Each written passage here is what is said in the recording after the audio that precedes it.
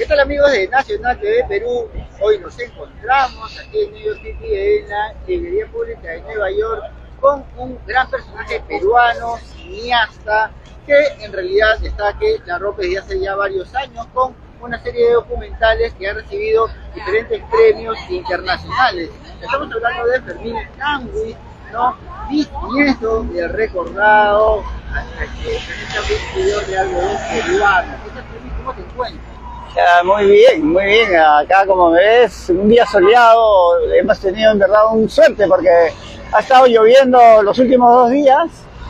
Así que aprovechando la tarde soleada acá en Nueva York, muy bonita. Fermín, coméntenos un poco sobre tu experiencia en temas audiovisuales. Ya sabemos que tú eres cineasta, tienes un documental, Historias de Perusalén, que vamos a hablar un poquito más de detalle sobre ello, ¿no? Historia de Perusalén. Y también un último documental que ha lanzado en el 2023, ¿no? Que habla un poco sobre la reserva de la ecología nacional, ¿no? Sí, sí. Y, este, y, pero antes de eso, cuéntanos un poco sobre un backup de, de tu trabajo que has venido realizando no solo en Perú, sino también acá en Estados Unidos. Cuéntanos un poco sobre Ya, mira, sería largo, ya, pero voy a tratar de resumir.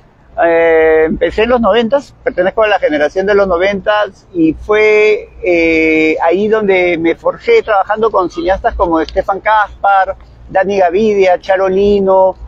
y también tuve la suerte de trabajar en algún proyecto o, o convivir diario, a diario con Armando Robles Godoy. Sí, oye, tuve una suerte alucinante de poder estar con él durante tres, cuatro meses bajo un mismo techo, trabajando, haciendo cine. Él, editaba su película, su última película, y yo en ese mismo escuela, que era la escuela de cine, yo editaba una película de, que se llama Porca Vida. Y eh, durante cuatro meses vivíamos bajo el mismo techo y tuve, como te digo, fue como una escuela eso, ¿no? Porque a pesar que él no fue mi profesor y yo no fui su alumno, hablábamos mucho todas las tardes, ¿no? Después del trabajo nos sentábamos en la cocina o en el patio y teníamos charlas largas, él, yo, los otros editores, eh, Juan Carlos Torrico, María Ruiz, que eran también este, directores de cine, productores de cine, y nos sentábamos largas tertulias a hablar con, con Armando Robles y era un personaje fascinante. Bueno, después de ahí eh, fui un invitado de ATA. ATA es una organización, una ONG que se dedica a la, a la que apoya la producción de cine y de video eh, experimental. Y fui como un artista residente, me invitaron y ahí trabajé como tres años. También hice producciones independientes y sobre todo experimentales. Y luego de eso ya me dediqué más al videoclip. Me interesaba explorar el tema del videoclip. Uh, y eh, pasé al documental. O sea, mi última la, la, etapa última, digamos, de mi faceta, de mi carrera como cineasta es el documental. Que es algo. De qué año Empecé alrededor del 2008 ya me estaba interesando en documental y hice un trabajo con Karen Bernedo que se llama La Fuga de Talentos, que lo filmamos en Lima, en Perú, en Lima, en España, en Nueva York fue, fue como un bien ambicioso en el sentido de que mandamos así, el proyecto se lo mandamos a mucha gente por el mundo y quien estaba en, Nueva York nos apoyaba, y quien estaba en España nos apoyaba, y quien estaba en Perú nos apoyaba, ¿no? Me refiero a personas que tenían un equipo para poder filmar y hacer las entrevistas. Luego hice otro documental con Ana Ponce, que habla del, del mundo del, del mate burilado, el arte del mate burilado en Huancayo, es un artista muy famoso, muy, muy talentoso que se dedica a hacer mate burilado. Estos dos trabajos eran, eran cortos, eran documentales pero cortos. Y bueno, ya eh, de ahí el siguiente proyecto documental ya ha sido un largometraje que es este, Historias de Perusalén, que lo empecé a filmar a partir del 2000, creo que empecé a filmarlo en el 2010, si no me equivoco, y lo he terminado en el 2021. Me tomó casi 11 años resolverlo, ¿no? poder terminarlo. Bueno, es una producción independiente, no recibí apoyo, no recibió eh, financiamiento, entonces lo he ido así. Es largometraje.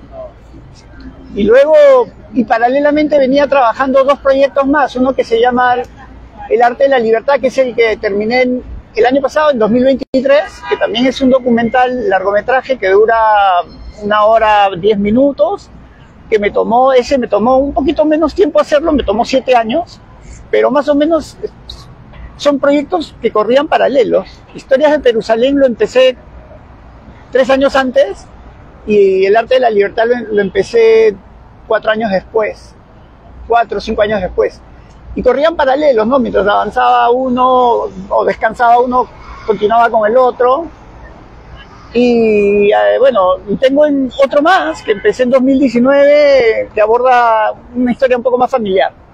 Historias de Jerusalén, encuentros cercanos del tercer mundo, ¿no? ¿Qué personajes podemos encontrar en este documental?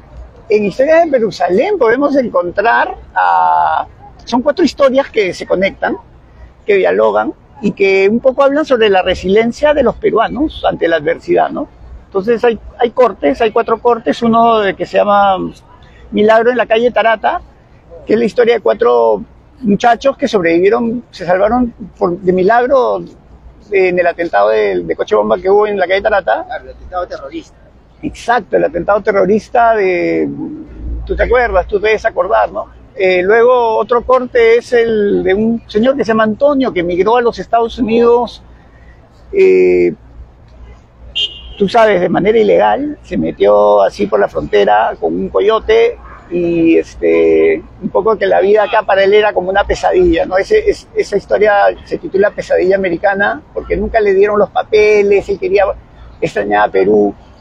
Eh, y luego el, otro corte es el de un músico peruano que se llama Raúl Montañez, que es bien conocido porque ha, sido fundador de Leucemia, de Voz Propia, y bueno, tiene ahora su proyecto solista. Es un compositor del carajo, es un pata genial, es, es nuestro Bob Dylan peruano para mí.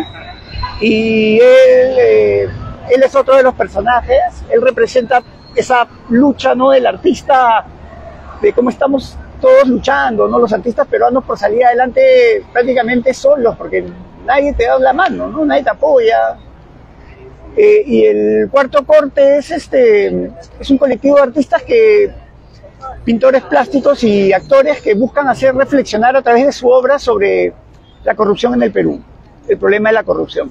Qué interesante. ¿Esto en qué año salió eh, a la luz? Historias de Perú salí lo terminé en el 2021 y tuvo un recorrido por festivales, tuvo dos premios, uno como mejor banda sonora en el Festival de de cine de Huancayo y el otro premio fue a mejor documental, eh, premio del público, al mejor documental en el Festival de Arequipa. Ah, excelente. Sí, en el Festival de Cine de Arequipa. ¿Y eh, sonoras qué bandas son las que.? ¡Wow! Es que, es que en verdad el documental tuve una suerte de tener a dos, dos tres, tres, tres músicos capazos, ¿ya? Eh, una, eh, voy a empezar por la dama, que es Verde Luna, que es una artista residente en Nueva York que ella tiene un proyecto artístico desde casi hace 10 años, pero ella no, no, lo, no empezó en Perú, sino que empezó en los Estados Unidos. Entonces tal vez no es muy conocida en, en Perú. Eh, ella me cedió una canción y luego la, los otros dos artistas que participan son Montaña, que me cedió música de su autoría, de su etapa solista, para musicalizar el documental, que es un, un disco saqué música de dos de sus discos y son maravillosos. Y la, el otro artista es Dennis Bernard, que es un guitarrista de la talla de García Zárate. Sí, es un guitarrista que, de verdad te sacas del sombrero porque verlo es, es un show que nunca te olvidas en, tu vida. Una vez que lo, es como García Zárate, ¿no? Para que te hagas una idea de, de, la, de lo diestro que es con la guitarra y él también me cedió canciones que eran algunas de su autoría y otras que eran interpretaciones de otros artistas, de otros autores, pero que él las, tocaba. Y bueno, este, e, ellos tres son, ellos, ellos son la banda soporte de todo el documental. Y, de verdad que el resultado fue bien sorprendente, porque a pesar de haber rock, haber música latinoamericana y, y música brasilera, porque también hay música media trova, el resultado fue fenomenal, ¿no? Fue muy interesante. Historias de Perusalén, encuentros cercanos al tercer mundo, ha recibido dos premios que Fermín Tanguis, el nieto del homónimo Fermín Tanguis, está con nosotros aquí en Nacional TV Perú y vamos a regresar con él después de una pausa porque nos va a contar un poco más sobre su último documental que recupera lo que es el tema de los pantanos de Villa y ha sido estrenado recién el año pasado, 2023, ¿no Fermín? Así es, no se ha estrenado, eh, lo terminé en 2023 y lo, lo que he hecho ha sido pasearlo por... Lo lancé, lo solté en festivales. Está, está en un circuito de festivales tratando de ver qué, qué, logro cosechar, qué, premios logro logra, logra obtener. Fenomenal, entonces vamos a regresar pronto después de la pausa con Fermín Tranwis y un poco más sobre lo que viene haciendo este cineasta aquí en Nueva York, desde la Biblioteca Pública de New York City, aquí en la Quinta Avenida, una de las más conocidas en New York. Gracias.